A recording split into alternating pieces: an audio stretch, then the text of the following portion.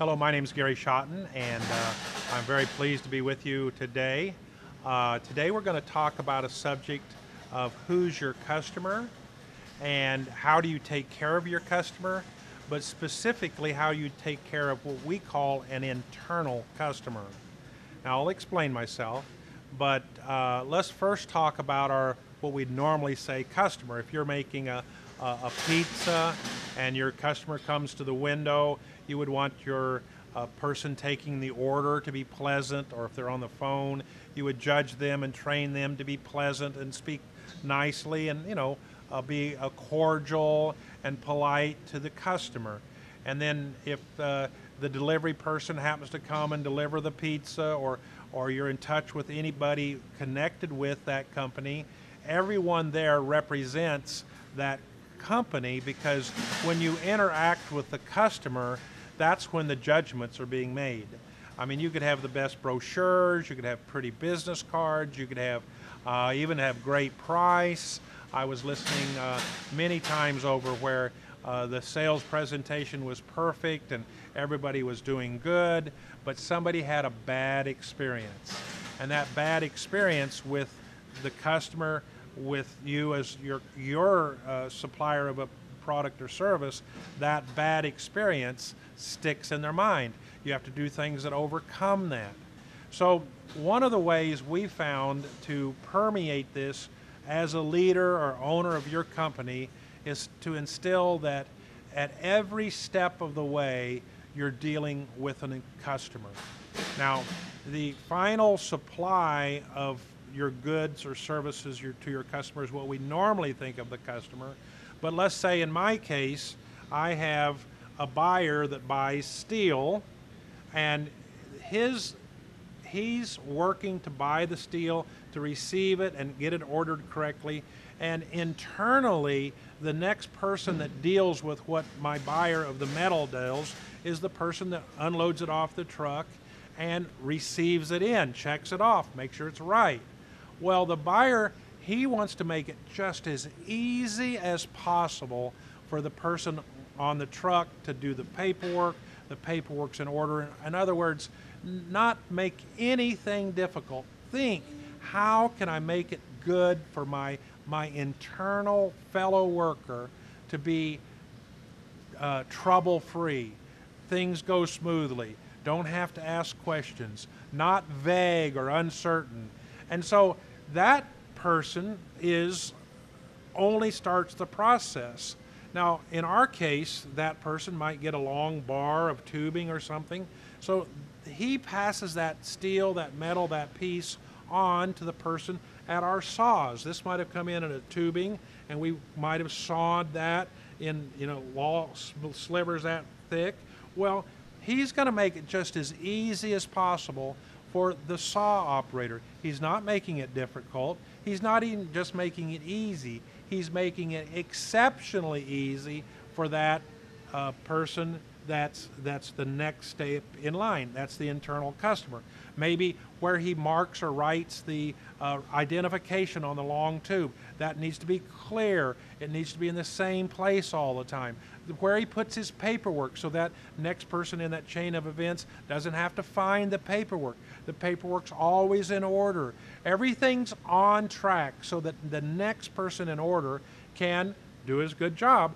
But who's next in order? When we cut a piece like that, the saw person, there's some little rough spots. There's some little burrs. You could grab this and you could cut yourself real easy. We had a saw operator years ago. He didn't think he, he wouldn't listen to us. I said, listen, you've got to make it easy for the person that's picking up that piece of steel because he takes that and just with unknowingly, he could cut himself. Well, this saw person had the attitudes, well, he should wear gloves. No, you should make sure there's no sharp spots on it. Oh, he's got plenty of times. He can just be careful. No. Well, guess what? That saw operator's not working for us anymore. Partly because he wouldn't deal properly as an internal customer. He should send that raw material to that next operator, grinding it off smooth, smooth. Doesn't have to go overboard, but he's thinking what's easiest. He's counted them out in an easy way to count because we keep track of every single part. So if there's a hundred parts, he just throws them in there and just makes it in a big pile. He lays them out 10 across, 10 this way, 10 times 10, that's 100. It's easy to count.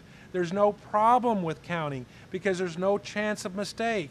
We made it easy for the next person. And though on and on and on through the shop, who's handling this material next wants to be your internal customer.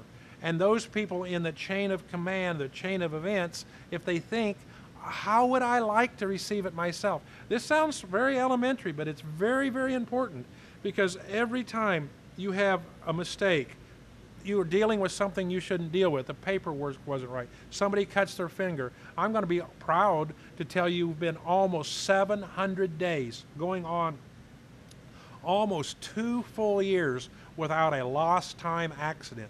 Wow, that speaks miles and good to our to our customers, to our workers. We, we do things to be safe.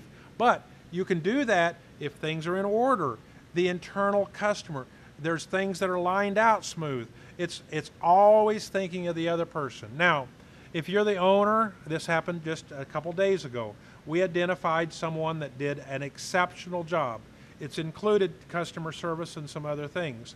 And we saw in his paperwork how well he'd done. It was just kind of what was normally being paid for to do, but he made a good job and he's regularly doing that.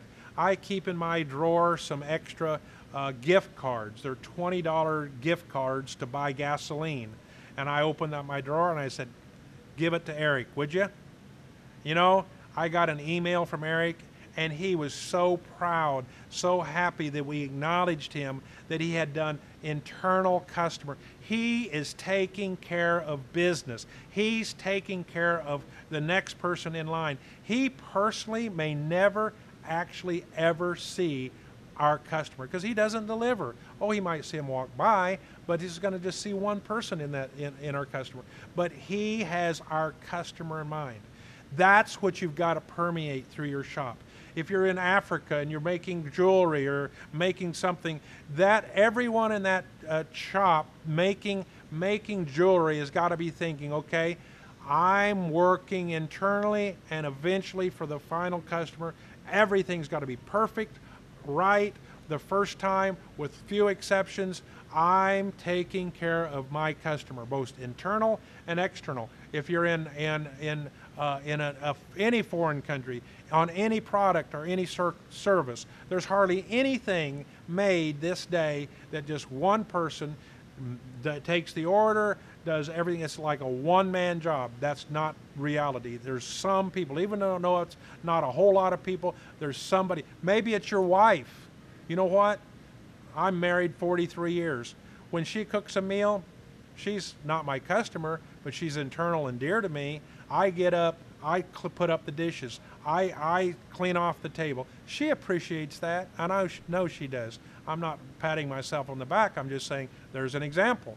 I want harmony with my spouse. I'm doing things I don't have to do. I'm honoring and respecting her. Hope this is helpful to you. We always ask that you consider forwarding this, sharing it through social media, and giving us feedback if you would. Thank you very much.